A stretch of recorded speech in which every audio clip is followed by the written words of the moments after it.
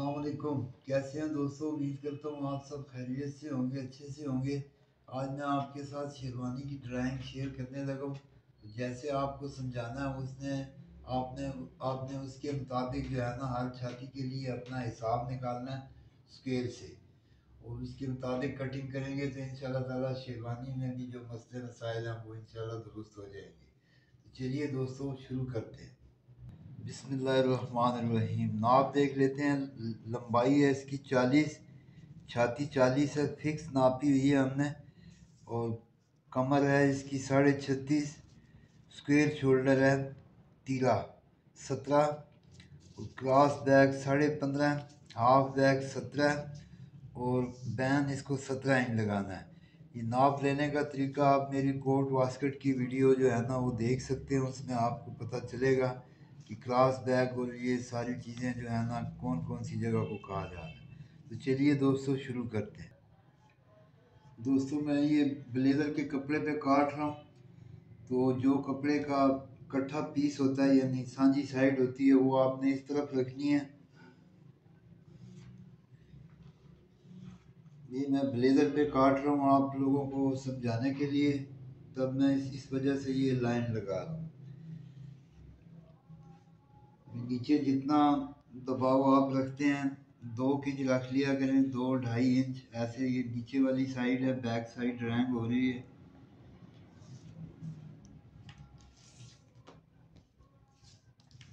चालीस इंच इसकी लेंथ है दोस्तों।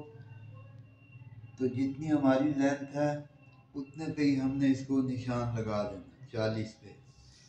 और इधर से भी इसको चालीस पे निशान लगा देना। दोस्तों चालीस हमारी छाती है, चालीस छाती का चौथा हिस्सा करेंगे तो वो आएगा दस। दस चौका चालीस, और हाफ़ बैक है हमारी सत्रह इंच सत्रह इंच पे एक निशान लगाएँगे, और यहाँ से भी दस चौका चालीस, और सत्रह इंच पे एक निशान लगाएँगे।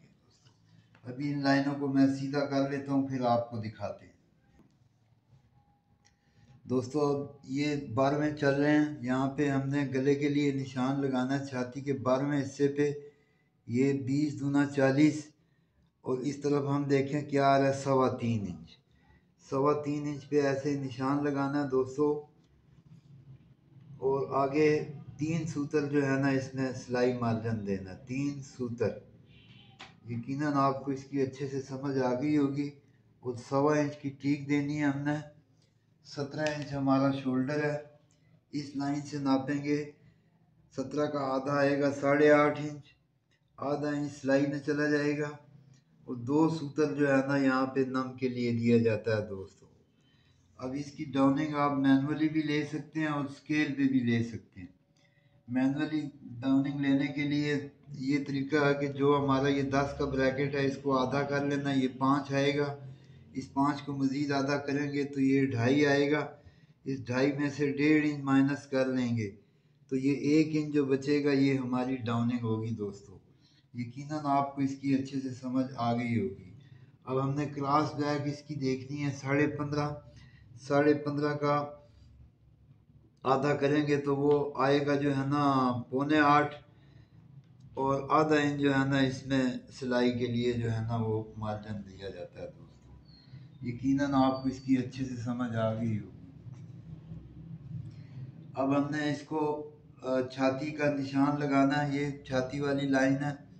इसका चौथा हिस्सा लगाएँगे, दस चौका चालीस। और एक इंच इसमें हमने तैयार लूजिंग देनी है बैक में। कितनी लूजिंग देनी है दोस्तों?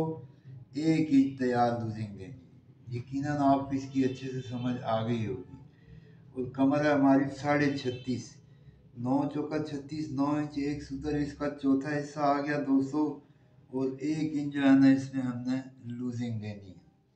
अब यहाँ से हम, इस निशान से हम, कमर तक जो ये निशान आ रहा है दोस्तों ये लाइन आप देख रहे हैं। इसको हमने छठा हिस्सा लगाना है छाती का। चालीस का छठा हिस्सा देख लेते हैं, यहाँ पे क्या आ रहा है? बीस दूना चालीस तो ये साढ़े छः इंच एक सूत्र आ रहा है। इस तरफ़ से हमने साढ़े छः इंच और एक सूत्र पे जो है ना ऐसे निशान लगा लेना दोस्तों। ये और इस लाइन से आधा इंच नीचे ऐसे हमने एक निशान लगा लेना दोस्तों। अभी अपने स्केल की नोक को जो है ना इस निशान पे रखना है। और इधर से इसको ये जो हमने आधी नीचे उतारा है, इस पे रख के ऐसे तो ये अपनी सीधी लाइन लगा देंगे हम नीचे घेरे के लिए। यकीन आपको इसकी अच्छे से समझ आ गई होगी दोस्तों। अब इसको ड्राफ्टिंग कर लेते हैं।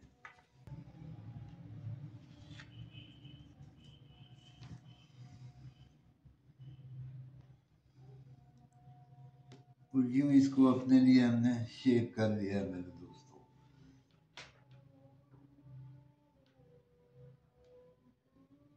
एक इंची हमने बैक में लूजिंग डाली है और एक इंच लूजिंग ही हम फ्रंट पे डाल रहे होंगे दोस्तों। ये यकीनन बहुत बेहतरीन आती है, बॉडी के साथ चिपकी हुई होती है और साइड में इंच सवा इंच जो है ना मार्जिन फ्रंट में भी छोड़ना है और बैक में भी छोड़ना है दोस्तों।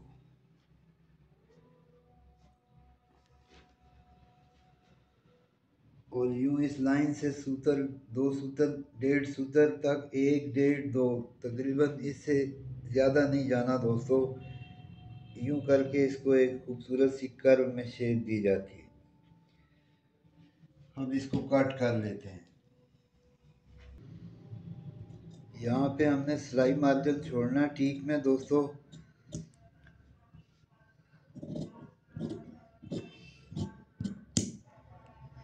अब फ्रंट पे भी इसी तरह के ब्रैकेट बना के तो उसको ड्राइंग करते हैं, मैं आपको दिखाता हूँ दोस्तों। दोस्तों, ये फ्रंट वाली साइड है। फ्रंट से हमने चार इंच कपड़ा छोड़ना है ऐसे। ऐसे चार इंच कपड़ा छोड़ देना है और इसको सीधी लाइन लगा लेनी है दोस्तों। यूँ इसको सीधा कर लेंगे।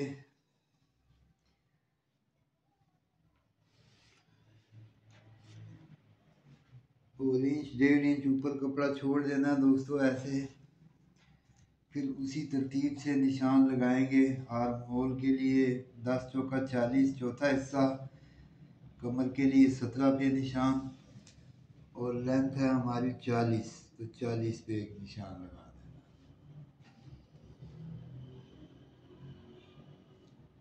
और यहाँ से भी दस और ये सत्रह।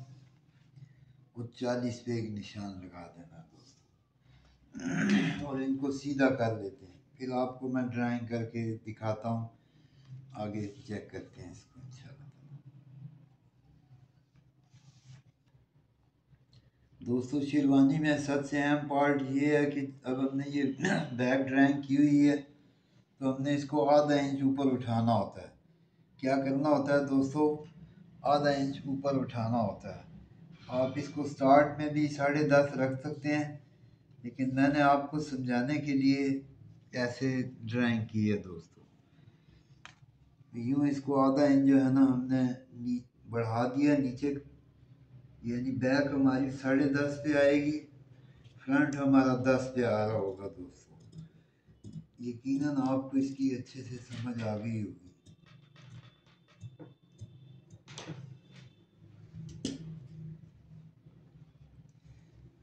अब यहाँ पे हमने तख्ती लेनी है दोस्तों। तो चालीस का चौथा हिस्सा आएगा दस। तो उसमें से एक इंच कम करके ऐसे निशान लगाना तख्ती के लिए नौ पे और यहाँ पे भी एक निशान लगाना है नौ पे। फिर गले के लिए हल्का सा निशान लगाना।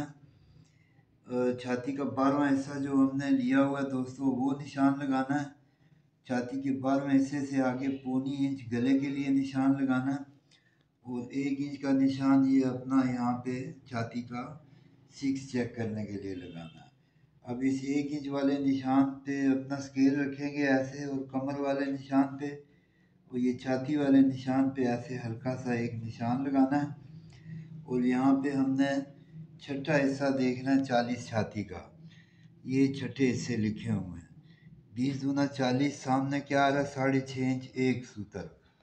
अब यहाँ से एक इंच ऊपर ऐसे और यहाँ से एक इंच ऊपर ऐसे और इस तरफ़ से हमने आधा इंच सिलाई मार्जिन छोड़ देना है ऐसे। तो ये हम देखेंगे कि भाई इधर क्या आ रहा है। साढ़े छः इंच और एक सूतर अपना पूरा बारवा आ रहा है दोस्तों। यूँ अपना बारवा इसमें लाजमी चेक करना है और उसके बाद अपनी तख्ती के लिए निशान लगाने हैं दोस्तों। अभी गला हम देखें गला हमारा सत्रह। और छाती हमारी चालीस। तो यहाँ पे अब देखिए अब चालीस कहाँ आ रहा है? बीस दूना चालीस। ये बारवा इधर लगा देंगे इसको। और फिर ये जो हमने हाले के लिए निशान लगाया बारहवें से आगे, उससे ऐसे जो है ना इसको सीधा रख के निशान लगाएँगे। ये निशान यूँ नहीं होना चाहिए, यूँ नहीं होना चाहिए दोस्तों, बल्कि इसको सीधा यूँ होना चाहिए। और यूँ जो है ना, इसको अपने लिए हम हाले के लिए ड्राइंग कर लेंगे अब बैक में हमारी यहाँ पे डाउनिंग निकली थी एक इंच तो आधा इंच उस एक इंच में जमा होगा तो फ्रंट के लिए वो डाउनिंग हो जाएगी डेढ़ इंच यकीनन आपको इसकी अच्छे से समझ आ गई होगी दोस्तों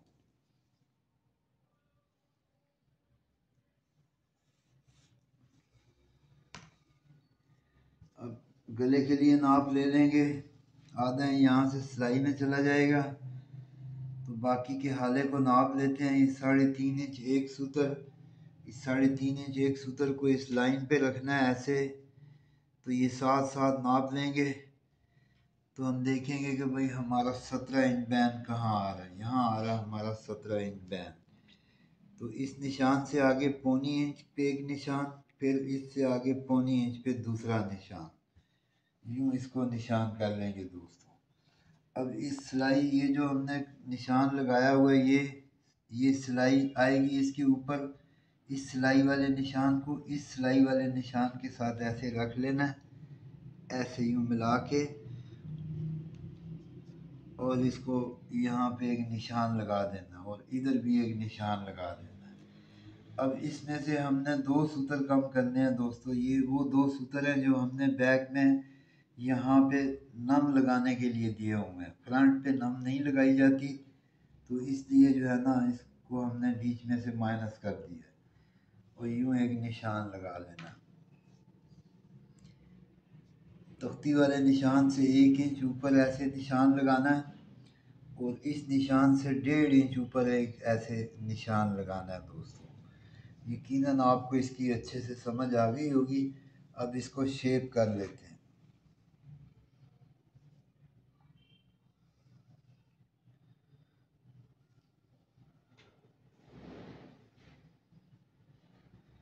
कमर वाली लाइन तक ऐसे इसको शेप कर लेनी है अपने निशान के साथ।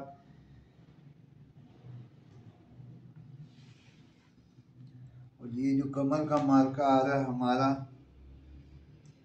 ये दोस्तों इसको बाला बल कहा जाता है। इसको बाला बल कहा जाता है।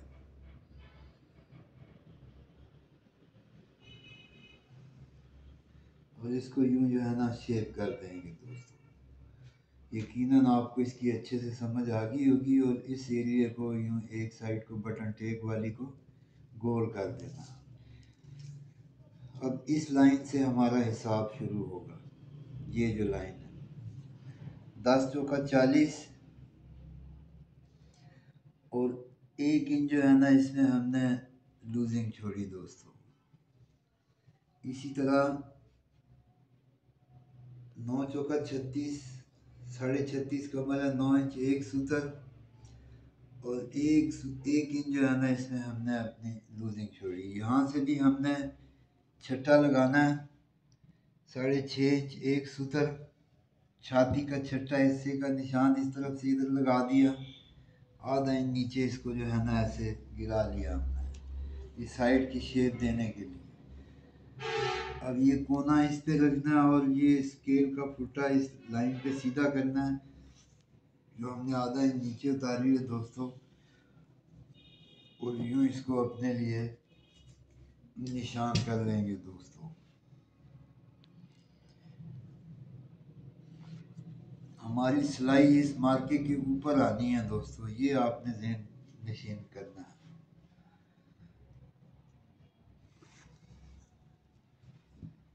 और इस निशान तक इसको अपना टारगेट करके खूबसूरत ऐसे जो है ना, बाजू के लिए शेप देनी है मेरे दोस्त। यूँ।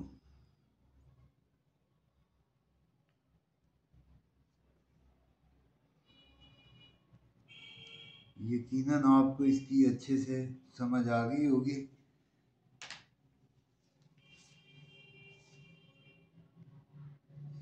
यहाँ से जो है ना इसको पाँच इंच पे निशान करना है दोस्तों। और इस तरफ़ से सात इंच पॉकेट के लिए मुँह देना है दोस्तों। और नीचे जो है ना ये चाक के लिए जो है ना हम छोड़ देंगे। साढ़े चार इंच से नीचे। ये हमारा चाक हो जाएगा दोस्तों। यकीनन आपको इसकी अच्छे से समझ आ गई होगी। तो अब इसको कट कर लेते हैं, फिर इसके बाजू काटने आपको बताते हैं। निशान जो है ना अपना लगा लेना यहाँ से, सूतर कम दो इंच और यहाँ से चार इंच। शेरवानी में आपने ये करना कि ये दस इंच आ रहा है ना तो इससे इंच एक नीचे ही उतर जाते हैं ऐसे। ये जेब थोड़ी नीचे को लगी होती है। और यूँ। और इसको बहुत ज़्यादा शेप नहीं करना, हल्का शेप देनी है इसको। ये बहुत ज़्यादा तिरछा नहीं लगाया जाता इसको दोस्तों। और सामने दो जेबें इसकी बनाई जाती हैं ऊपर वाली। चलिए दोस्तों, इसको कट कर लेते हैं।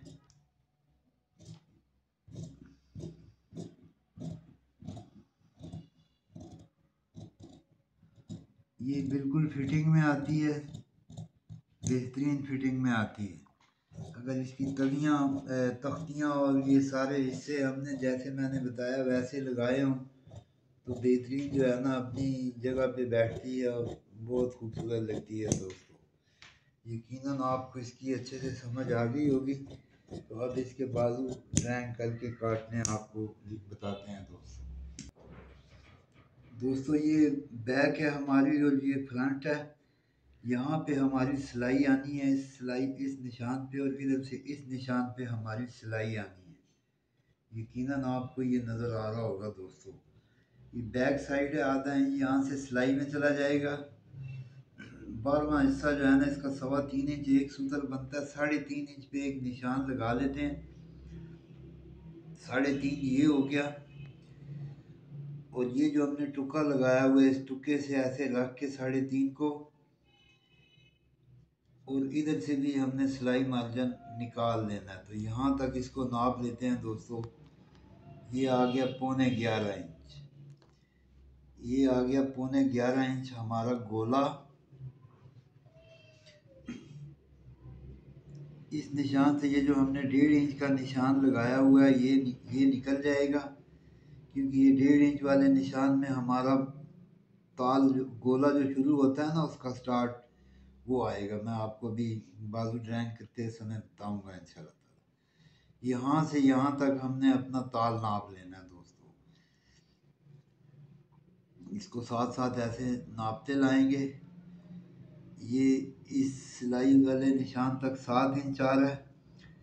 सात इंच को इस सिलाई वाले निशान पे रखेंगे दोस्तों और आगे ये इस निशान तक इसको नाप लेंगे तो ये आ रहा है सवा आठ इंच एक सूतर। यानी साढ़े आठ इंच। यकीनन आपको इसकी अच्छे से समझ आ गई होगी। और अब ये जो हमने निशान लगाया हुआ है सिलाई के लिए, इस निशान से, और ये जो डेढ़ इंच पे हमने निशान लगाया है इस तक इसको नाप लेंगे, ये आ रहा है आठ इंच। तो चलिए दोस्तों, अब इसके बाजू काट लेते हैं। दोस्तों, ये अब हम गोले गोले के लिए ड्राइंग करने लगे हैं, यानी बाजू के लिए। तो ये इसको यूँ सीधा कर लेना है। यूँ छाती है हमारी चालीस तो चालीस का चौथा हिस्सा जो है ना ये आएगा दस इंच। यहाँ से भी चालीस का चौथा हिस्सा आएगा दस इंच, दोस्तों। अभी हम ये देखें कि हमारी ये वाली जगह यहाँ से लेके और डेढ़ इंच तक ये निकला था आठ इंच। तो इस आठ में एक इंच जमा करना है। नौ इंच पे इसको ऐसे रख लेना है। यानी उस, जो जो भी फिगर हमारा निकला उसमें एक इंच हमने जमा किया, आठ निकला था तो एक जमा हुआ नौ। डेढ़ इंच इसमें से वापस ले लेना है। इसी तरह, इस तरफ़ भी नौ इंच पे इसको नाप लेना और इस नौ इंच में से डेढ़ इंच दोबारा वापस ले लेना और एक इंच यहाँ पे जो है ना, हमने ये ले लेना इस एक इंच से आगे ये नौ इंच रह गया। इस नौ इंच को सेंटर कर लेना यहाँ पे साढ़े चार। और इसी तरह यहाँ पे भी साढ़े चार इंच का एक निशान लगा लेना सेंटर का। फिर इस साढ़े चार को आधा करेंगे तो ये आएगा सवा दो इंच दोस्तों। ये निशान हमने लगा लिया। अब हमने यहाँ से डेढ़ इंच लेस किया था। वही डेढ़ इंच जो है ना, हम यहाँ पे ऊपर, यहाँ पे प्लस कर लें। ये डेढ़ इंच जो है ना दोबारा यहाँ पे जमा हो गया। स्लीव लेंथ है हमारी ट्वेंटी थ्री तो यहाँ से जो है ना दोस्तों, हमने बाजू के लिए निशान लगाना तेईस हमारा बाजू है। तो इसमें से आधा इंच जो है ना हम कम कर रहे होंगे। साढ़े बाईस पे एक निशान लगा देना और इस तरफ़ से हमने तेईस इंच पे निशान लगा देना अभी इस निशान से एक इंच ऐसे ऊपर चढ़ा के इंची टेप रखना दोस्तों, ये आएगा साढ़े सत्रह। तो साढ़े सत्रह का सेंटर जो बनेगा उस पर एक निशान लगाना ये पौने नौ इंच पे, और इधर से भी पौने नौ इंच पे एक निशान लगा देना। और इस लाइन से पौनी इंच अंदर एक ऐसे लाइन लगानी है। यहाँ से हमने इसको दस रखा हुआ है तो यहाँ से हम इसको नौ पे निशान कर रहे होंगे दोस्तों। और नीचे साढ़े सात इंच पे जो है ना मूरी के लिए निशान लगा देंगे दोस्तों। अब इनको सीधा कर लेते हैं और आपको ड्राफ्ट करके, नाप करके फिर बताते हैं। ब्रैकेट मैंने बना लिया हुआ है। तो अब दोस्तों ये जो हमने निशान लगाया था, यहाँ पे एक इंच पे यूँ निशान लगा लेना और चुकोर अपने लिए एक डब्बा बना लेना। इस कोने से, इस निशान तक जो है ना हम इसको सीधा कर देंगे दोस्तों। यूँ और यहाँ से यहाँ तक अब हम छाती का छठा हिस्सा लगाएँगे। छाती का छठा हिस्सा चालीस का आ रहा है दोस्तों, साढ़े छः इंच। ये सामने भी लिखे हुए हैं। और उस तरफ़ समझ ना आए तो ये ज़रबे दो हो रहा है छाती का। यहाँ से भी आप देख सकते साढ़े छः इंच एक सूत्र पे ऐसे निशान लगा लिया दोस्तों।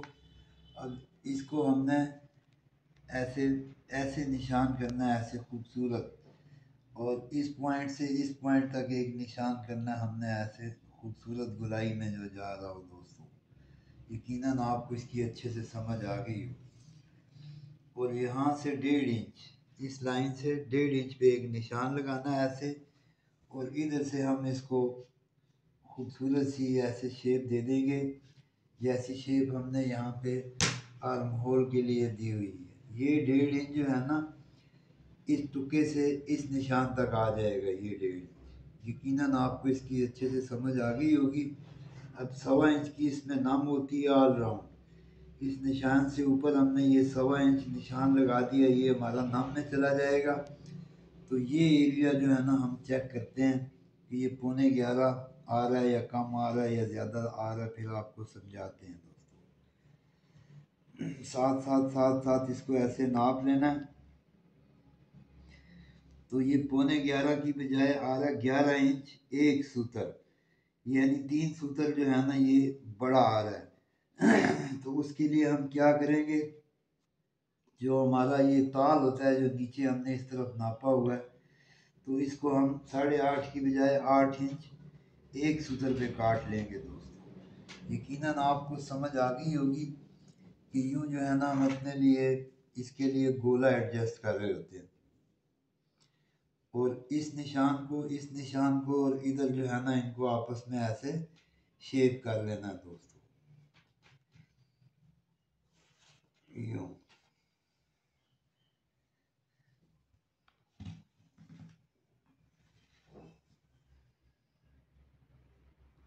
और ये जो इसमें कोना सा बनता है, ये ख़त्म कर देना।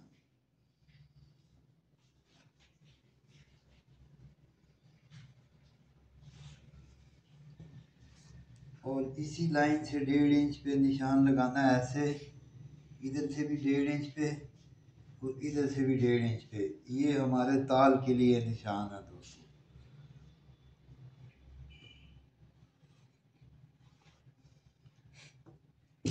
चलिए इसको कट कर देते हैं तो आपको दिखाते हैं।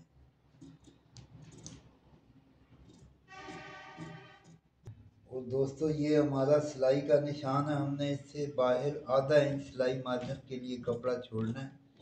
ऐसे साथ साथ जो है ना, इसको काट लेंगे। और इसमें अगर आपने इस तरफ़ गल्फी बनानी हो तो यूँ जो है ना, ज़्यादा कपड़ा छोड़ दिया करें। यूँ। तल पाट वाली गल्फी बनानी हो तो इसमें तल पाट वाली नहीं बनती, ज़्यादा स्ट्रेट ही बनती हैं। और यहाँ पे जो हमने एक इंच पे निशान लगाया था, एक इंच पे ये, यहाँ पे हमने एक टुक्का दे देना है। ये टुक्का इसलिए दिया जाता है कि इस टुक्के को हम, जब आप कटिंग कर लेंगे और बाजू चढ़ाने लगेंगे तो इस टुके को, इस टुके के साथ यूँ दोस्तों मिला लेना है और यहाँ से जो है ना हमारा बाजू चढ़ना स्टार्ट होगा। सवा इंच की नम लग जाएगी, बाकी पूरा पूरा आता है ना, कम ना ज़्यादा। तो चलिए दोस्तों, अब इसका ताल काट लेते हैं।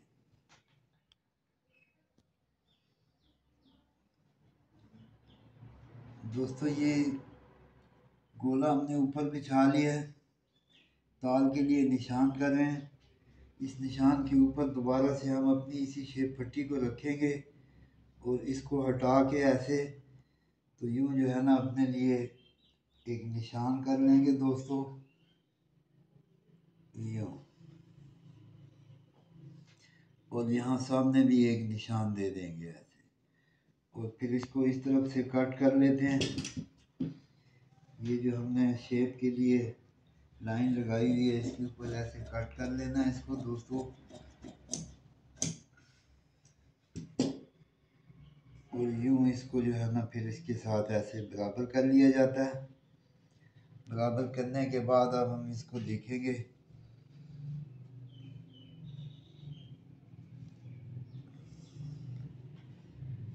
ये जो कोनी वाला निशान लगाया हुआ है दोस्तों, इस निशान से ऊपर ऊपर जो है ना, हम इसको यूँ चला सकते हैं। यूँ। इसको ऐसे चला लेना अंदर की तरफ़, डेढ़ दो इंच, और हल्का निशान लगाना है क्योंकि ताल हमने खुद एडजस्ट करना होता है। फिर इसको नाप के देखते हैं, अगर कम ज़्यादा हो तो फिर इसको कम ज़्यादा जो है ना हम कर लेंगे अपने हिसाब से। नाप के जितना हमें चाहिए दोस्तों। अब इसको सेंटर का निशान करेंगे, आठ आया तो चार पे निशान लगाना है ऐसे।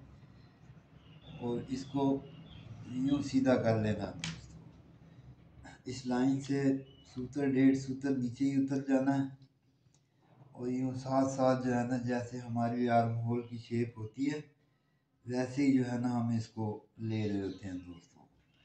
और इसको फिर नाप लेते हैं। यकीनन आप देख सकते हैं कि ये दो इंच ज़्यादा है। तो हमें यहाँ पे आठ इंच एक सूत्र चाहिए था।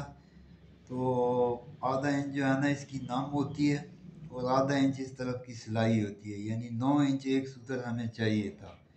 तो ये तकरीबन जो है ना, सात एक सूत्र जो है ना, ज़्यादा आ रहा दोस्तों। तो उसके लिए ये है कि हम इसको मज़ीद थोड़ा सा यूँ अंदर चला लेते हैं, ऐसे। और यूँ अपने लिए ताल जो है ना एडजस्ट किया जा रहा होता है। गोला पूरा पूरा आता है, वो ताल जो है ना वो जितनी रिक्वायरमेंट होती है आर्म होल की तो उसके हिसाब से चाहिए होता है दोस्तों यकीनन आपको आज की वीडियो की अच्छे से समझ आ गई होगी। मेरी आपसे गुजारिश है, अगर आपके साथ कुछ लोग काम सीख रहे हैं, उन्हें काम सिखाने में जल्दी करें। ताकि वो जल्दी से जल्दी अपने पैरों पे खड़े और अपने लिए रोज़गार कमा सकें और आपके लिए निजात का और दुआ का सबब बने दोस्तों। अब इसको दोबारा से जो है ना नाप के देख लेते हैं दोस्तों। तो आप देख लें, ये नौ इंच एक सूत्र जो है ना, पूरा पूरा आ रहा है। यूँ हम ताल को थोड़ा बहुत चला के और एडजस्ट कर होते हैं दोस्तों। ये बिल्कुल सही परफेक्ट आते हैं दोस्तों। इसको यूँ जो है ना ऊपर इंच सवा इंच इस तरफ़ छोड़ देना है साइड में हमने मार्जिन रखा होता है खुला करने के लिए। तो जब साइड खुली होती है तो बाजू भी खुला हो रहा होता है दोस्तों। तो इसलिए आप जो है ना ये ताल के साथ साथ जो है ना ऐसे दबाव रख लिया करें दोस्तों। और ये फालतू मालकों को कट लगा देना और जो हमारे ओरिजिनल मालके हैं, उनको गहरा कर है अल्लाह ताला हम सबको हमारे काम में आसानियाँ नसीब फरमाए और हम हम सबसे राज़ी हो। आप जहाँ भी हैं, खुश रहें, अपने काम पे ध्यान दें, मेहनत करें और काम में मेहनत करके दयानतदारी के साथ काम करके तो यकीनन हम सब बहुत आगे जा सकते हैं और इस काम में बहुत तरक्की कर सकते हैं दोस्तों। कहीं से समझ ना आ रही हो तो आप कमेंट करके पूछ सकते हैं। मैं इन ताला कोशिश करता हूँ कि कमेंट्स के जवाब दिया करूँ। आपसे इन ताला नेक्स्ट वीडियो में मुलाकात होगी। किसी अच्छे से टॉपिक के साथ।